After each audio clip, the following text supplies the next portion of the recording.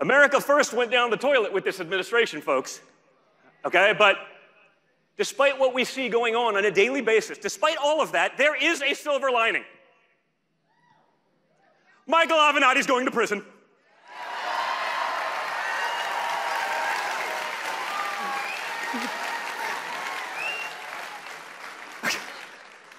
I'm sorry. I'm sorry. I don't want to be canceled. Democratic presidential hopeful. I heard this from Brian Potato Head Stelter for years on CNN, right? So I don't want to be canceled. I don't, I'll be dinged. If they post this on social media, they'll ding me for misinformation because I didn't include Democratic presidential hopeful, which that was accurate, right?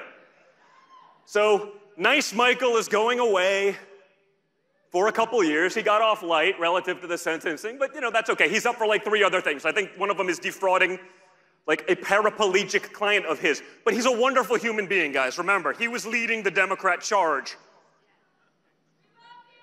I love you too.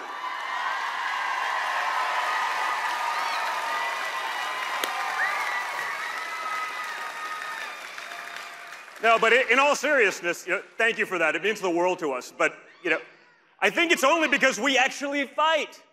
We'll actually push back, right? And that's what Donald Trump did for the Republican Party. He showed that you don't just have to turn the other cheek, roll over, and die as the other side gets whatever they want and laughs their way to the bank, right? Now, we need you guys in that fight with us, okay? And to be clear, so that they don't say that I'm antagonizing, I mean the metaphysical fight of our values versus their Marxist ideals.